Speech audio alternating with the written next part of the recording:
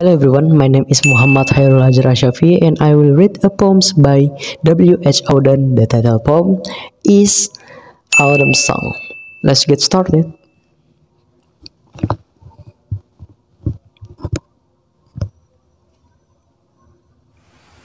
Now, the leaves are falling fast. Nurse, flowers will not last nurses to the graves are gone, and the prams go rolling on, whispering.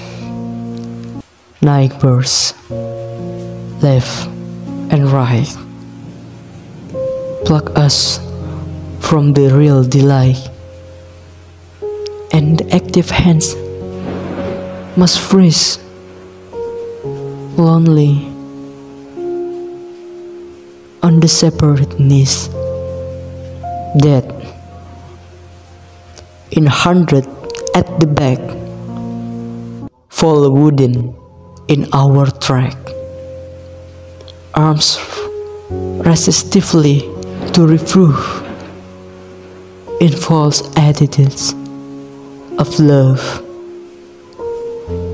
starving through the leafless wood.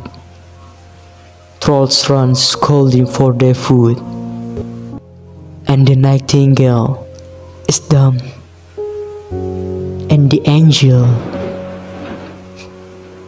will not come. Cold, impossible, ahead lifts the mountain's lovely head, whose white waterfall could bless travelers in their last distress.